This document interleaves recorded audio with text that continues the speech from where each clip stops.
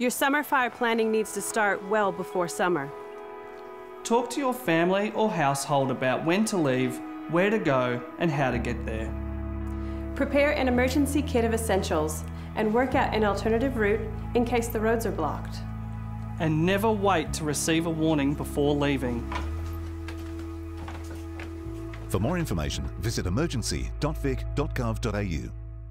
Authorised by the Victorian Government, 1 Treasury Place, Melbourne.